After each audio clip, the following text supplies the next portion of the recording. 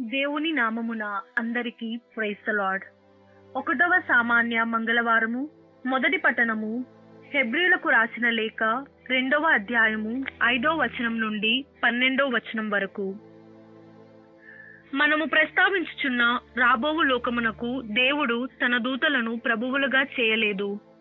అయితే ఒకానొకడు ఒక చోట ఇట్లు సాక్ష్యం ఇచ్చుచున్నట్లుగా ఓ దేవా నీవు అతనిని గూర్చి యోచించుటకు మనుజుడు ఎంతటివాడు? నీవతనిని లక్ష్య పెట్టుటకు అల్పుడగు మానవ పుత్రుడు ఎంతటివాడు? కొద్ది కాలము మాత్రమే అతనిని దేవదూతల కంటే తక్కువగా చేసితివి. మహిమతో గౌరవముతో నీవు అతనికి కిరీటము ధరింపజేసి సర్వమును అతని పాదక్రాంతమునర్చితివి. సర్వమును అతని పాదక్రాంతమునర్చెను అనగా అతనికి లోబరచకుండా దేనిని విడువలేదు అని అర్థము. కాని ఇంకను ప్రస్తుతమందు అంతయును అతనికి లోపరచబడుట మనము చూచుటలేదు. కాని మనము యేసుని మాత్రము చూచుచూనే ఉన్నాము. దైవానుగ్రహము వలన మానవులందరి కొరకై తాను మరణించినట్లు కొద్ది కాలము వరకు ఆయన దేవదూతల కంటే తక్కువగా చేయబడను. తాను అనుభవించిన మృత్యు వేదన వలన ఆయన మహిమ గౌరవములతో అభిషక్తుడగుట చూచుచున్నాము. సర్వ సృష్టి స్థితి కారకుడగు దేవుడు తన మహిమలో పాలు పంచుకొనుటకై పెక్కుమంది పుత్రులను చేరదీయుటకు యేసును బాధల ద్వారా పరిపూర్ణుని చేయుట సమంజసమే. మానవులను పాపము నుండి ప్రక్షాళన చేసిన వానికి పాప ప్రక్షాళన చేయబడిన వారికి తండ్రి ఒకడే అందువలననే వారిని తన సోదరులని చెప్పుటకు యేసు సిగ్గుపడలేదు. ఆయన ఇట్లు చెప్పెను ఓ దేవా నిన్ను గూర్చి నా సోదరులకు ప్రకటించెదను. ఆ సభాముఖమున నిన్ను స్తుతించెదను. ఇది ఏలిన వారి వాక్కు సర్వేశ్వరునికి వందనములు.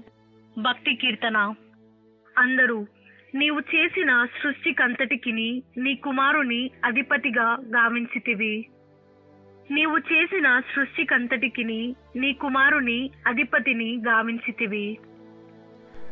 ఈనాటి సువిశేషము పునీత మార్కు గారు వ్రాసిన సువిశేషము ఒకటవ అధ్యాయము ఇరవై ఒకటో వచనము నుండి ఇరవై ఎనిమిదవ వచనము వరకు. వారు కఫర్నాము చేరిరి.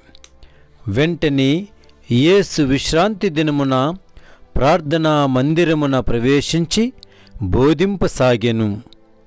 ఆయన బోధకు అచటనున్నవారు ఆశ్చర్యపడిరి. ఏలన ధర్మశాస్త్ర బోధకుల వలేగాక అధికారపూర్వకముగా ఆయన బోధించెను. అప్పుడు అపవిత్రాత్మ ఆవేశించిన వాడకుడు కేకులు వేయుచు నజరేతు నివాసీగు యేసు మాతో నీకేమి పని? మమ్ము నాశనము చేయవచ్చితివా? నీవు ఎవరువు నేనెరుగుదును. నీవు దేవుని పవిత్రమూర్తివి అని అరచెను. నోరు మూసుకొని వీని నుండి వెడలి పొమ్ము అని యేసు దానిని గద్దింపగా అది వానిని విలవలలాడించి బిగ్గరగా అరచి వదిలిపోయెను. అంతటా అచ్చటి వారందరూ ఆశ్చర్యపడి ఇదేమి? అధికారముతో ఈ నూతన బోధ? ఈయన ఆజ్ఞాపింపగా అపవిత్రాత్ముల సహితము ఈయనకు లోబడుచున్నవి అని తమలో తాము గుసగుసలాడుకొనసాగిరి. ఆయన కీర్తి గల్లియ ప్రాంతమంతటా వ్యాపించెను. ఇది క్రీస్తు సువిశేషము. క్రీస్తువా మీకు స్థుతి కలుగునుగాక.